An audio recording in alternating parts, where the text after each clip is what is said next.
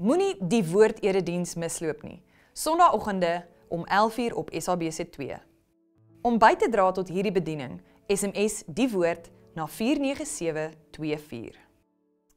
Hallo weer en welkom hier so by ons oordeenkingtyd saam. Ons besig om te kyk na Jakobus en wat hy my en jou kan leer as hy in vandag se tyd was. Ons vat sy beginsels uit sy skrif uit en ons pas dit toe.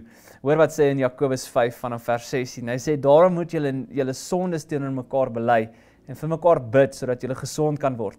Die gebed van iemand wie se saak met God reg is, het kragtige werking.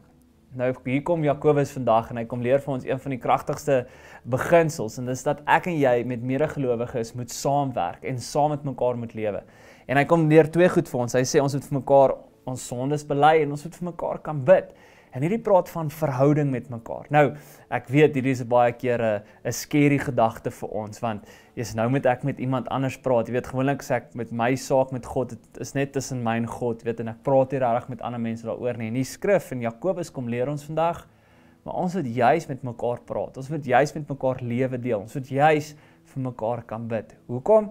Want hierso is dit. As God ons gebede hoor, as God hoor dit, antwoord hy ons en daai gebede het kragtig. So hier's die ding ek en jy kan 'n groot rol speel in mekaar se lewens, in medegelowiges se lewens. As ek en jy die vrymoedigheid kry om met mekaar te kan praat, met mekaar te kan deel en vir mekaar te kan bid.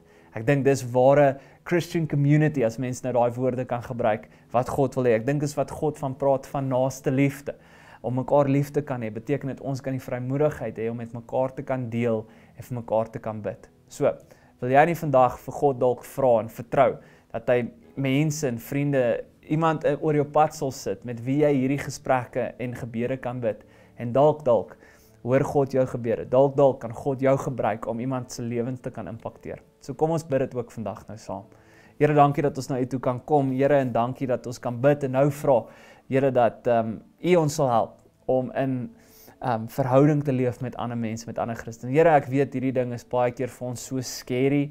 Here, want nou moet ons oopmaak teenoor ander mense en mense kan nie vertrou word nie en mense gaan dalk iets sê of snaaks dink, maar Here, ek bid dat U ons asseblief die regte mense in ons lewens sal plaas met wie ons kan journey, met wie ons kan praat, met wie ons vir mekaar kan bid. Here, en U sê hierso dat U hoor ons ons gebede. U hoor ons gebede en dit kan kragtig wees. Here, en ek bid dan natuurlik dat U ons sal help om vir mekaar dan te bid, dat U ons die vrymoedigheid sal gee, Heilige Gees, dat U ons braaf genoeg sal maak om daai stap van geloof te vat.